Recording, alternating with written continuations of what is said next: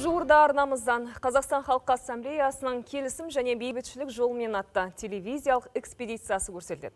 Жалпы ұлттық ауқымдағы бұл бірегей жоба еліміздің барлық аймағын қамтиды. Иә, Динара белгілі журналист Қазақстан халқы ассамблеясы төрағасының орынбасары Майя Бекбаева жарты жыл бойы түсірілім тобымен бірге еліміздің 17 өңірін аралап, көптеген этнос өкілдерімен кездесіп қайтқан еді. Сюжеттен көрейік.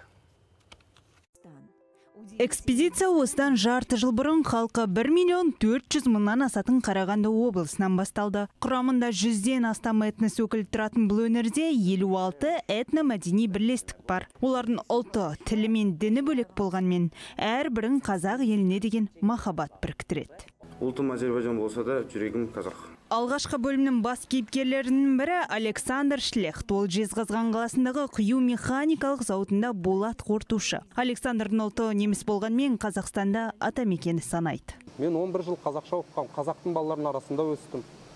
Бүкіл жерге атқа мініп, бәйгеге шауып, қазақтың бүкіл салт дәстүрін білемін. Қазақтың салт дәстүрін берік ұстанатын тағы бір кейіпкер иван кнерик.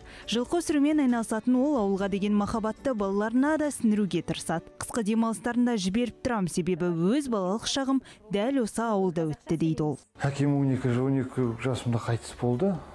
Одан кейін жаңағы мырзатай деген кісі өз балаларының ортасында мені өз балаларын тәрбиелегенде мені тәрбиелеп өсірді. Келісім және бейбітшілік жолмен телеэкспедициясы көрерменге желтоқсанда жол тартады. Түрлі этнос өкілдерімен қызықты сұхбаттар өрбитін бұл жоба бес бөлімнен тұрады. Мұнда достық үйінің қызметінен бөлек 17 өңірдің 30 жылда жеткен жетістіктері айшықталады.